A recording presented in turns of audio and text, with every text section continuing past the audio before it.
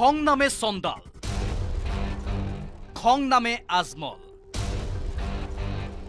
এইবাৰ আজমলৰ কাণ্ড খঙতে মঞ্চৰ পৰা মাইক দলিয়ালে আজমলে খং উঠিলে আজমলে হেৰুৱাই হিতাহিত জ্ঞান এইবাৰ উত্তেজিত হৈ মঞ্চৰ পৰা মাইক দলিয়াই পেলালে আজমলে যোৱা দুদিনত দ্বিতীয়বাৰলৈ আজমলে কৰিলে একেটা কাণ্ড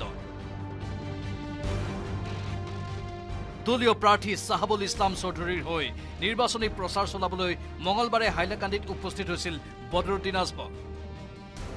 হাইলাকান্দিত দলীয় সভাত ভাষণ দিয়াৰ মাজতে হঠাৎ এ আই ডি এফ প্ৰধান মৌলানা বদৰুদ্দিন আজমলে মাইক্ৰফোন দলিয়াই পেলোৱা এই দৃশ্য এতিয়া চৰ্চিত হৈ পৰিছে। হাইলাকান্দি জিলাৰ তিনি বিধায়কৰ ওপৰত প্ৰচণ্ড খং হোৱাৰ বাবে মঞ্চৰ পৰা খঙত মাইক দলিয়াই সভাস্থলী ত্যাগ কৰে আজমলে। লগতে হাইলাকান্দি জিলাৰ তিনি বিধায়কক অকৰ্মণ্য বুলিও আখ্যায়িত কৰে আজমলে।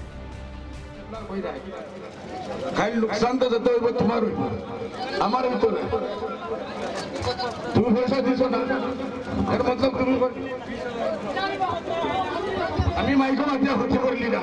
তাই তাই অর্ডার করার কোনো ক্ষতি করছ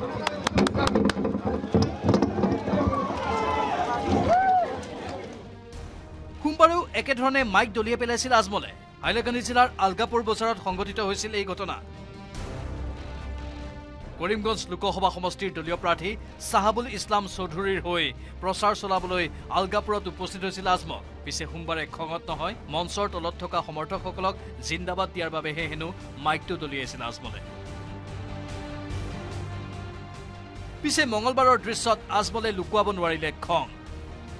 ইয়াৰ পূৰ্বেও খঙৰ বশৱৰ্তী হৈ মঞ্চৰ পৰা বাৰে বাৰে গামোচা দলিয়াই অসমীয়াৰ আৱেগত আঘাত সানি আহিছে আজমলে।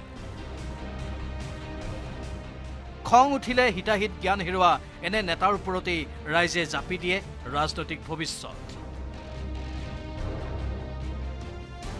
হাইলাকান্দিৰ পৰা Rahul Chakraborty news eighteen Assam north east.